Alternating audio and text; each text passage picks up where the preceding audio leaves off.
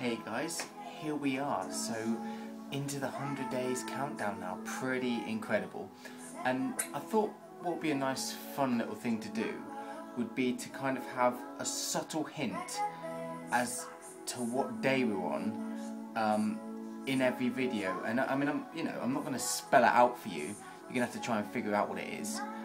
Um, and so obviously today we've got day 99 today, tomorrow will be day 98, um, and Douch is aware of this and he'll keep it going. So in tomorrow's video, he'll try to put a sort of subtle hint into what day it could be.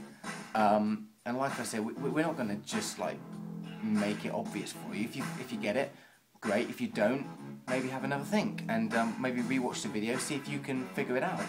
Hopefully, Hanson, you've got it and um, you understand how it all works. And hopefully, I'll see you at the wedding, Hanson. In, in 99 days' time. Other than that, um, Hanson, please play at the wedding.